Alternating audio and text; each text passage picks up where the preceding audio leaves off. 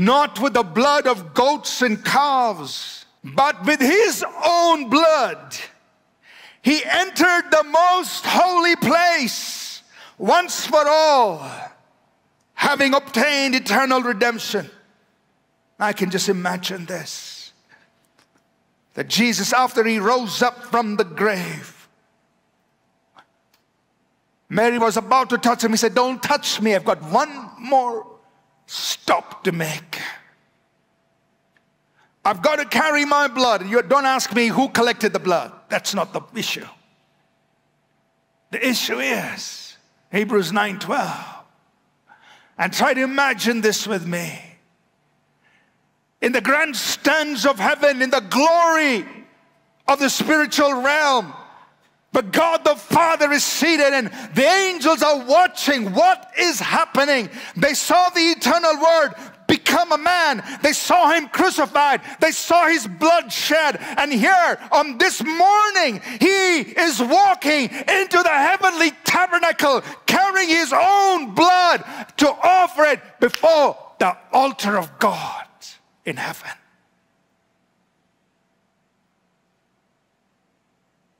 And that blood was not the blood of bulls and goats. That was not the blood of some bird, some animal.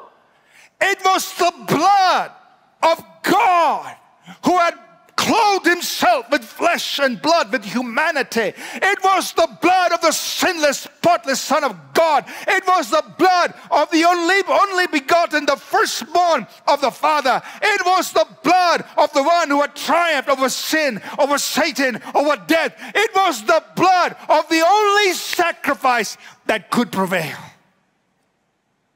And he took this blood and he walked into the heavenly tabernacle and he placed it on the mercy seat before God.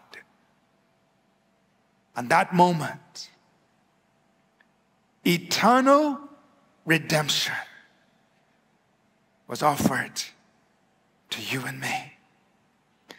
This blood doesn't just cover sin, this blood cleanses sin. This blood doesn't leave you in a state of sin consciousness. This blood gives you the righteousness of God. This blood doesn't leave you in subjection to sin, Satan, and death. This blood redeems you and brings you out of the power of sin, out of the power of Satan, out of the power of death, and makes you a son and a daughter of God. This is the blood of Jesus Christ. Amen. Put your hands together. Give him praise. Give him praise. Give him praise. This blood sealed our complete redemption. The Bible tells us, 1 Peter 1 18 and 19, knowing that you were not redeemed with corruptible things like silver and gold, because they cannot buy your redemption in any way but you were purchased, you were redeemed with the precious blood of Christ. This blood obtained our redemption. This blood. This is the power of the blood of Jesus. That is why today you and I we don't come to God with the blood of birds and animals. We don't come to God with our money. We don't come to God with our piety. We don't come to God with our pilgrimages. We come to God to the blood of Jesus Christ. That's the only way. That's the only way the power, understand the power of the blood of Jesus.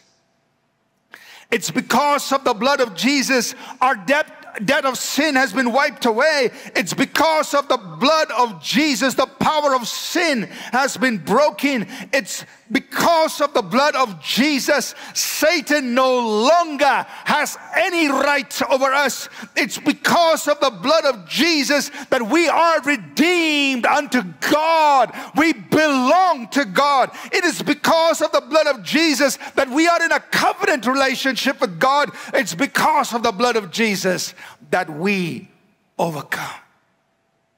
It's the blood of Jesus Christ. Worship team, please come. So today,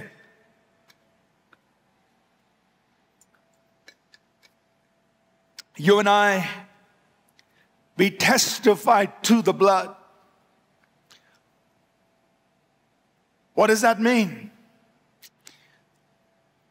Revelation 12, verse 11 says, talking about these people at, at, at a particular point in time, he says, they overcame the devil by the blood of the Lamb and by the word of their testimony.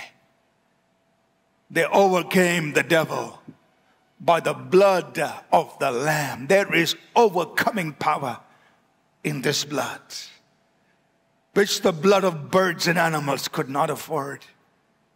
But in this blood, you and I overcome.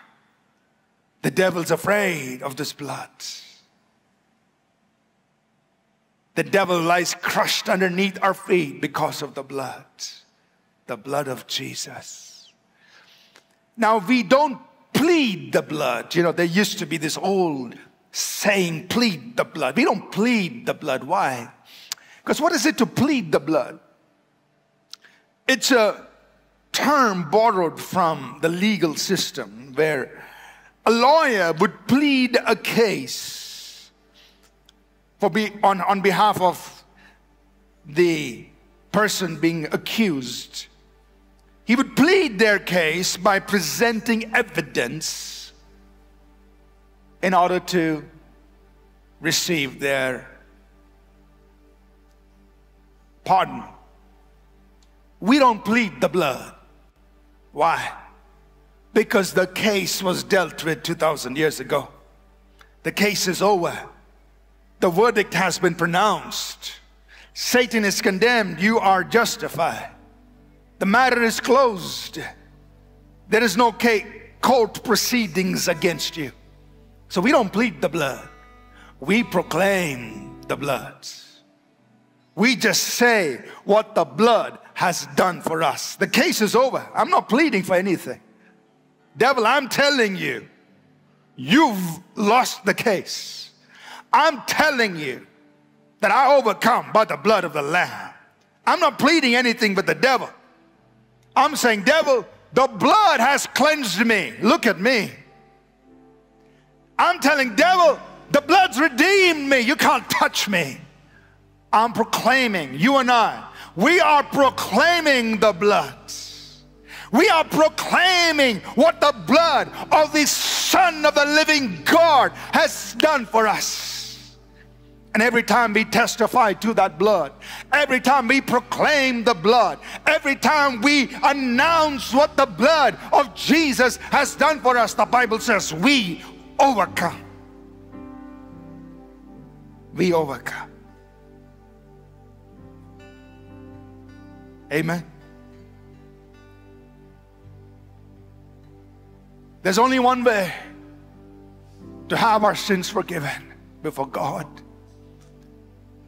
there's only one way for us to come into a right relationship with God.